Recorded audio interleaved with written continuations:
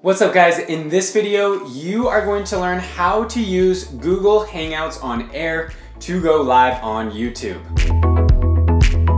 I'm Andy, you're watching Learn How. I create videos to help people learn how to use technology to improve their lifestyle. In this video, we're talking about going live on YouTube using Hangouts on Air. Now, Hangouts on Air is my new favorite way to go live on YouTube if you're going to be doing live videos with other people, so there's other people in your live video, or if you're gonna be switching between your face and like a screen share, so let's say you have like a PowerPoint presentation, a webinar, uh, anything like that, I think Google Hangouts on Air is the way to go. So you don't actually need to go out there and purchase expensive webinar uh, software. Uh, this is a great way if you're a business, if you're an entrepreneur, trying to do webinars, live webinars. I'm gonna show you how to do that right now.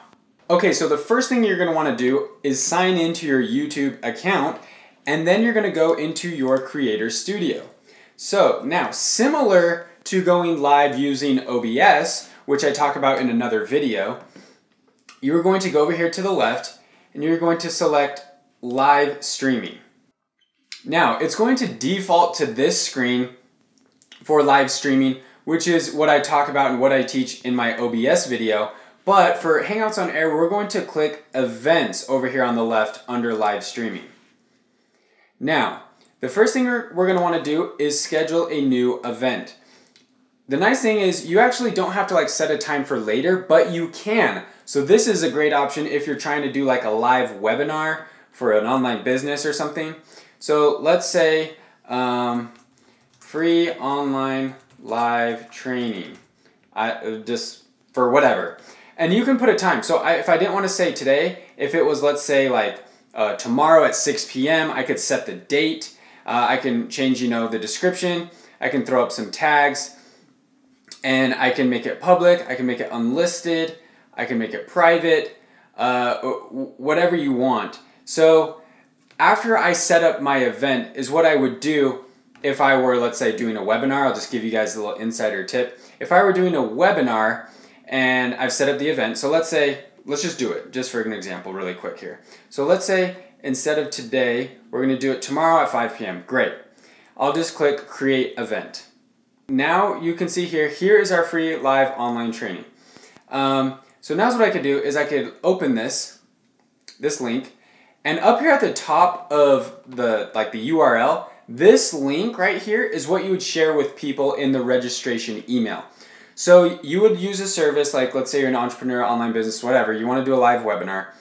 Uh, you're going to create an event, uh, set it for a date, set it for a time. You're going to use Mailchimp, whatever your you know uh, email service is, and then you're going to collect emails for registration. So I use Leadpages. I got a link below this video if you want to use Leadpages. I think it's the best one. Uh, it's the one I prefer. But lead, you could use Leadpages, create a little lead box, a, a registration for your webinar uh, collect names, collect emails, and then in the uh, welcome email that you'll create for the registration, you'll throw in this link. So just copy this link right here, paste it, and say, you've registered for the webinar, here's the link, we're going live the 31st at 5 p.m., you know? And so that is how I would do a, a webinar if I wanted to uh, use Google Hangouts on air. Now, moving forward, it's all the same thing. So let's go back into the edit it's all the same thing for webinar or if you just want to go live. Like this doesn't have to be for webinars, but it's a great option. So let's say I want to go live today, right now. So like I'm ready to go live and I just want to, I just want to get to it. Okay, so I've, I've changed all my things. I changed my title, description. I threw up tags, all that good stuff. Um, and now I'm just going to click go live now. Now ready to go, boom, boom, boom. You'll enter Google Hangout on air. So press OK and then a window's going to pop up. Okay, here I am, Google Hangouts on air. Right now, I am off air. You're going to want to wait for this little thing at the bottom to load. Can you see this here? It says it's a percent counting up. What, okay, now we got the green button. That means that we're ready to go live if we wanted to. But I would want to get all my stuff set up. So let's say I'm going to do a live presentation of me talking, looking at the camera, and a PowerPoint. So I'm going to flip between. Like I want to talk, I want to show slides, I've got my PowerPoint ready um, is what you would do is you would open PowerPoint at this point and you'd make sure that your screen share is working properly. So I'd come over here to the left, screen share, choose an application window, and I would choose PowerPoint if I was using PowerPoint. So like maybe I have an internet page open. You can share whatever whatever you want, which is really cool about this. Okay, so this is working. It says at the top I'm screen sharing, and when I want to stop screen sharing, I click stop, and then it's going to go back to me. So same thing. I could talk, talk, talk while I'm talking. Go over here to screen share, choose that window, say share again. Okay, look, now we're on the uh, you know the computer showing people what to do. Da da da da da. Okay, and I want to talk some more into the camera. So that's what's really cool about this. It's super easy to do that.